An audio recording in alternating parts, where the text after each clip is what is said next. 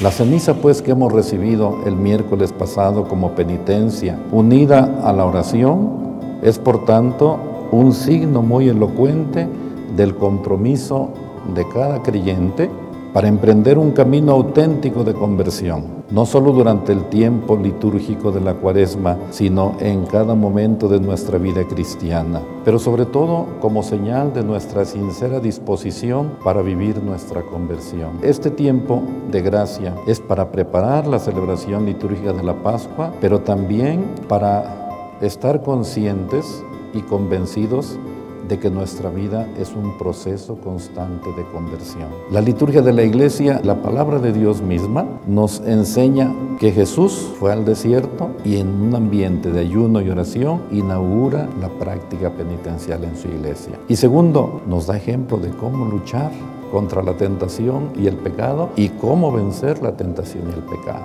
Todos sin excepción tenemos tentaciones. Somos humanos, somos pecadores. Y las tentaciones en sí mismas pueden ser malas si nosotros les damos maldad. Son sencillamente algo natural en la vida, pero tenemos que luchar contra esa tentación y el pecado. Las tentaciones pues son inevitables y aparecen en los momentos más decisivos de nuestra vida. Sin embargo, es indispensable asumir la responsabilidad de superarlas, de luchar contra esas tentaciones, optando por los valores del reino. Solo así podremos, a ejemplo de Jesús, aceptar nuestra naturaleza humana y hacer el bien para sanarnos y aliviarnos de tanto dolor y sufrimiento.